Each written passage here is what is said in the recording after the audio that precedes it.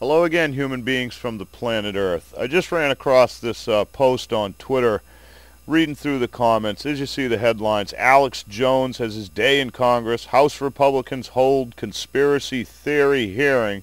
They're talking about the 1.6 million bullets that uh, DHS bought, and they're saying that it's because of Alex Jones that, the, you know, we had to discuss this and have the government give us an account, and their explanation is bullshit um, because they're saying it's buying in bulk, saving money, training exercises. The, the, amount of bullets they bought would last them fucking 20 years. Um, so there's no real anything here to distract you from the bullets or, or anything like that. In my mind, this is just another plug for fucking Alex Jones, who in my opinion is controlled opposition. Okay, um, there's many many things I could say that uh, you know kind of point to that and why I believe that. But what I've seen now, a lot of people will say Alex woke me up, and that's great. If you get woke up, that's great. But what happens with the majority of people that stay uh, in Alex Jones's little corner is he uses the psychology he uses the anger. He uses the poor me. He acts like a little fucking spoiled baby.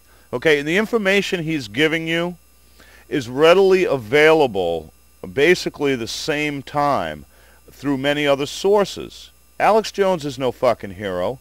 He, he doesn't have any inside... Drudge Report? Drudge is his inside connection? Come on. Come on. Now, this is all Alex Jones bullshit. And if I actually had the time to find out Media Matters, who they are, and trace it back to Alex Jones, but you know what? I don't have fucking time for people like Alex Jones. But anyway, this was an opportunity to uh, kind of disseminate the bullshit and, you know, every now and then when I, when I see the prime opportunity to give a little poke at Alex Jones, uh, who convinced you that you had to buy shit to protect yourself from Fukushima fallout and then never even took it himself. Uh, and just think about his fundraisers. What, the last one I saw here about a year ago? Over $300,000 donated. Okay? All right. Yeah, you get the picture.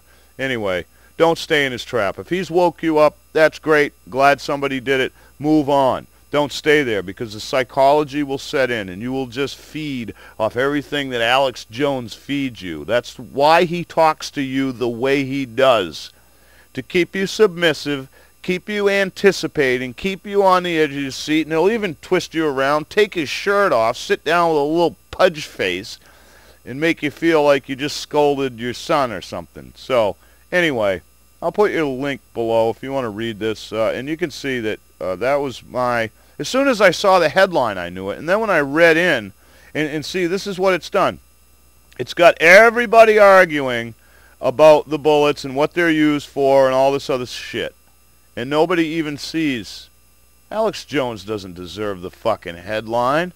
Okay? Alex Jones does not control our political system. Or does he? You better think about that. Much love. Many thanks and I'll see you soon.